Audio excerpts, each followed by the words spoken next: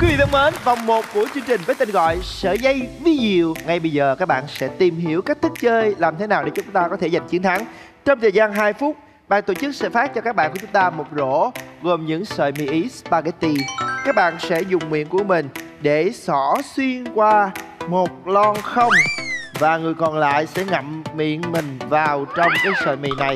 Và các bạn cố gắng di chuyển làm sao cho cái đây làm sao để cho cái sợi mì của chúng ta không bị đứt gãy và đặt cái lon này lên trên cái chiếc bàn còn lại? Như vậy chúng ta sẽ tính được là một điểm thành công. Trong thời gian 2 phút đội nào của chúng ta hoàn thành được nhiều nhất sẽ là đội giành chiến thắng. Chúng ta sẽ cử ra hai thành viên miệng xinh xinh, lực nhẹ nhàng để tham gia vào phần thi này. Và bây giờ chúng ta sẽ cử ra hai thành viên của đội bản lĩnh sắc màu của chó đốm. Bạn đốm và đội gia đình hạnh phúc. Đây. hai thành viên đầu tiên. Những người có cái miệng xinh xinh nhất của nhóm bạn lĩnh sắc màu cho đốm đây. Các bạn chuẩn bị nha. Và bây giờ phần thi của các bạn 2 phút với phần thi sợi dây vi diệu.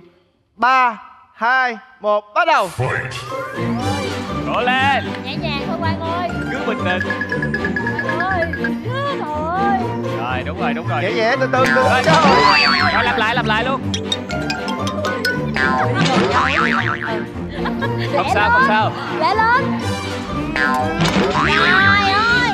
Đúng rồi đúng rồi. chặt hai Đúng rồi đúng rồi. Đã làm hai sợi được không? không được một sợi. Tốt rồi tốt rồi. Đứng lên rồi đi không cần. Cái lần này ơi là trời. Định Để cái lần như vậy anh Rồi đúng chỉ rồi. còn một cái thôi là chúng ta sẽ thắng. Đang thắng rồi mình đang thắng rồi. Khó lắm khó lắm. nào đâu? Từ từ thôi. Yeah.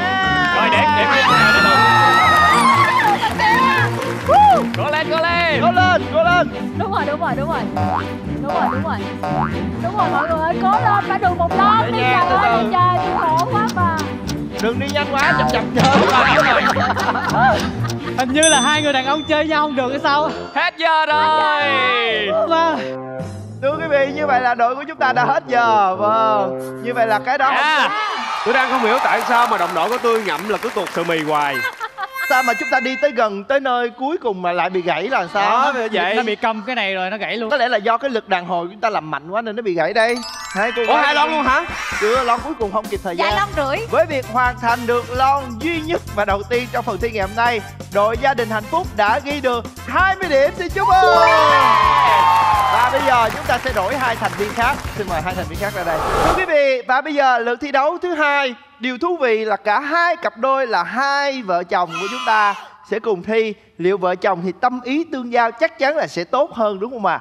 Ba hai một bắt đầu. Hồ Phượng cố lên Hồ Phượng cố lên Hồ Phượng cố lên. từ từ từ từ. Từ từ bé bé, từ từ, từ từ. Đừng đi nhanh quá. Đừng đi nhanh quá đi từ từ thôi. Hay quá Hồ Phượng cố lên. Đứng lên đã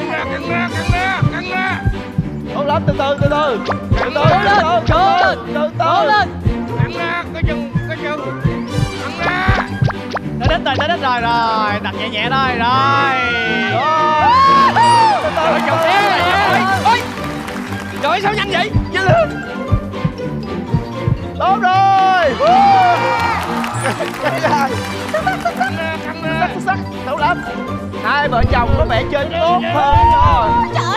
Căng ra căng ra. Đừng đi đừng đi từ từ từ từ từ từ Ok ok xong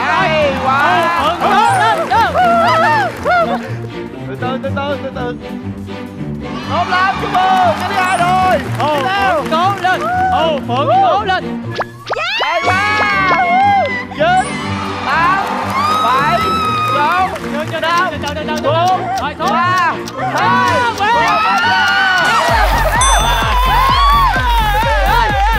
thưa quý vị rõ ràng là hai vợ chồng chơi khác biệt đẳng bởi vì sao vợ chồng làm tâm ý tương thông cả hai đội của chúng ta cùng được ba lon như vậy mỗi đội được cộng thêm 20 điểm nữa xin chúc mừng bạn sẽ cùng bước đến vòng 2 của chương trình. Bản lĩnh ngôi sao!